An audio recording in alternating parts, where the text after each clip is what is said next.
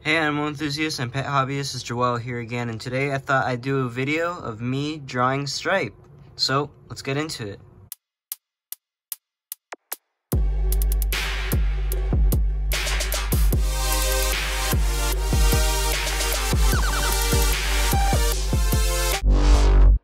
Alright, so the mediums I'm going to be using for this drawing is one Strathmore 6x8 colored pencil paper. Next, I'm going to be using a 4H sketching pencil. This is just going to be used for the outlines and the beginning of the drawing. Black Prismacolor colored pencil, white colored pencil, orange, Spanish orange, sunburst yellow, crimson red, and a colorless blender. Then I have a 2.3 millimeter eraser, a regular eraser, and lastly, some Jelly Roll white pens. Okay, so as a right-handed person, I like to draw from left to right so I don't end up smearing the graphite. When it comes to colored pencils, I generally like to start with the background because, well, that's just me personally, but you can do it however you'd like. The reason I am drawing so light is because these are just the general shapes that I'm going to be going over in colored pencil, and I don't want the pencil marks to be visible at that point, so yeah, there's a reason why you can't really see what I'm drawing.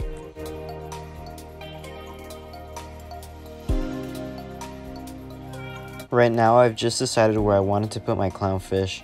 I typically like to put the main focus of the artwork in the center so that it could have more emphasis, but per usual you could do it wherever you'd like. Right now I'm just adding some more details in the clownfish as outlines. To fill up more space in the background, I'm just adding some more corals. These corals I actually don't have in my tank, but I wish I did, they're just too expensive. But yeah. Okay, so when it comes to adding color, I like to start off with a first layer of what the object is.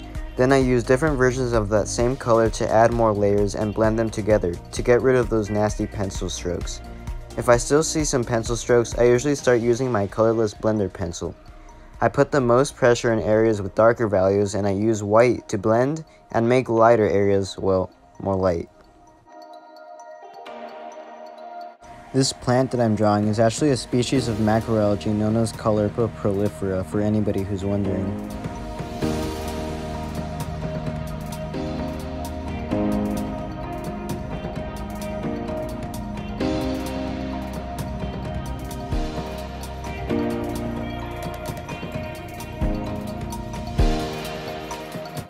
Now that I'm done with the macroalgae, I'm starting on the purple gorgonian.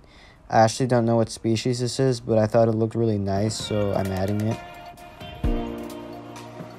To make it appear as though there are polyps, I'm adding tiny ridges or spikes along the stems, and I think that gives it a cool effect. Okay, now I'm on the Xenia.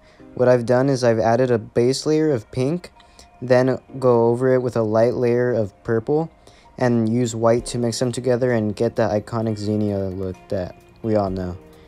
Later I'm going to be using a white ball pen so that I could add the tiny pinnules on the ends of the tentacles.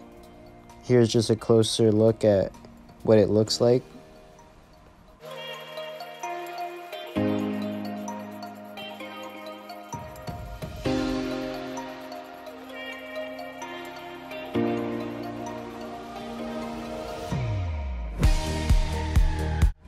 Here's another type of coral that I thought looked really nice.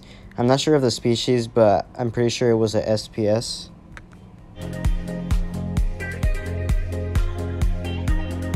These are just some orange and green zoanthids that I found and I thought looked really nice and I wish I had in my tank.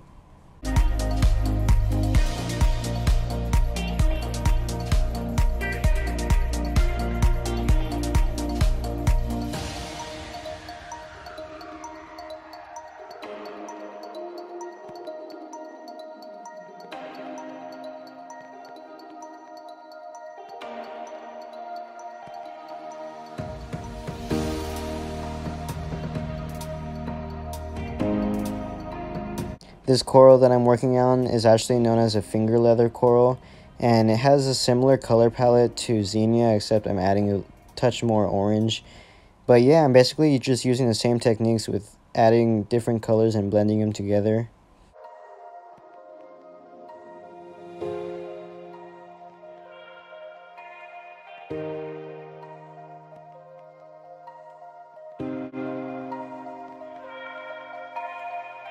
This coral is a green and brown trumpet coral.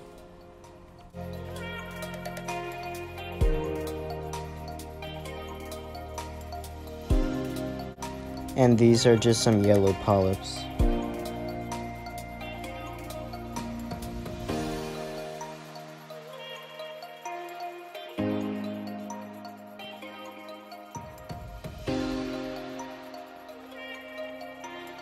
Alright, I'm finally drawing Stripe.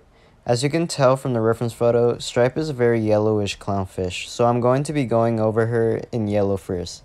I like to go from lighter to darker colors, so I'm going to be going from yellow to yellowish orange to eventually a darker shade of orange. I do this because I find it easier to blend them all together. Once you've added the colors you want, you can start doing the smaller details. Here I'm adding black to the fins and to the stripe. As you can tell, the eye is pretty much just a black dot surrounded in an orangish grayish color, so you don't really have to pay too much attention to detail. For the background, I'm going to have a darker bottom, and it's going to be progressively going up and getting lighter, then at the top again it'll be black. I tend to do bluish colors for underwater pieces, but I try not to focus on that part in this piece trying to put more emphasis on the clownfish. So yeah, you could, again, do your background however you'd like.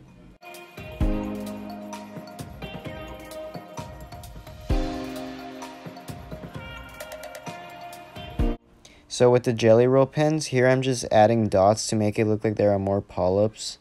And on the Xenia, I'm adding pinnules, and this will help it look more detailed and slightly more realistic.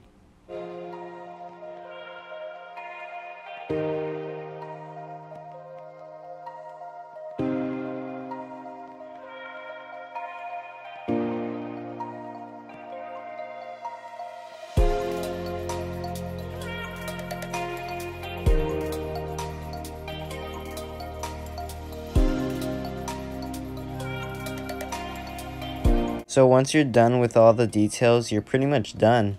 Here's just a close-up of it. And here it is next to Stripe. As you can see, the background's pretty much the same.